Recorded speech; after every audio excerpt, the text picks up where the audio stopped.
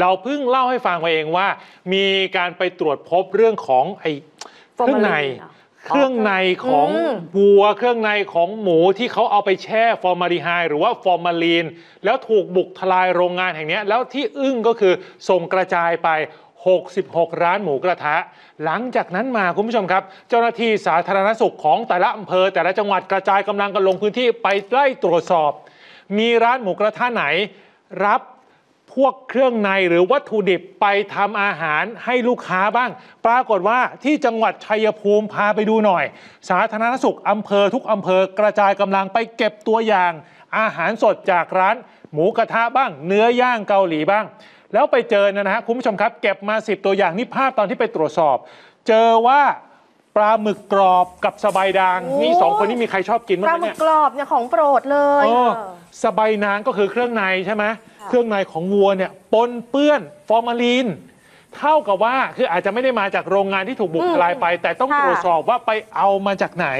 ส่วนเนื้อหมูอันนี้ยังไม่เจอ แต่ทั้งหมด 10 กว่าตัวอย่างที่ไปตระเวนตรวจตามอำเภอต่างๆ จะส่งเข้าห้องแล็บไปตรวจสอบอีกครั้งหนึ่ง เพราะเบื้องต้นเนี่ยนะฮะคุณผู้ชมครับทางด้านของสารฟอร์มาลดีไฮด์หรือว่าฟอร์มาลีนเอาจริง ๆ พูดกันตามตรงคือเอาไว้แช่ศพ เขาห้ามเอามาใช้ในอุตสาหกรรมอาหาร นี่ฮะ ตรวจตั้งแต่ 5 ถึง 7 ธันวาคมแล้วสั่งให้พอเจอตัวอย่างแบบนี้ ต้องให้ทุกอำเภอเพิ่มการสุ่มตรวจให้หนักขึ้น เพราะเป็นห่วงคือ ถ้าคนกินแล้วไม่แพ้มันไม่ค่ะเท่าไหร่อะแต่ถ้าคนกินแล้วแพ้เนี่ยบางคนบอกโหลิ้นชาปากชาเลยนะแล้วกว่าจะรู้ว่าลิ้นชาปากชา กินไปเท่าไหร่แล้ว คือมันต้องเคี้ยว อืมแล้วมันก็ต้องกลืนเข้าไปต้องใช่กินเป็นระยะหนึ่งแล้วถึงจะรู้นะคะ ว่าอะมันมีอาการแบบนี้เกิดขึ้น อืมแต่สารพวกนี้ไม่ควรที่จะอยู่ในอาหารน่ะนะคะ ใช่ เดี๋ยวเจ้าหน้าที่ก็จะมีการสุ่มตรวจกัน ครับ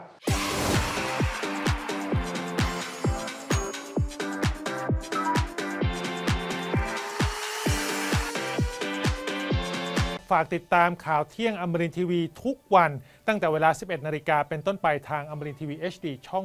34 ที่นี่ที่เดียวครับ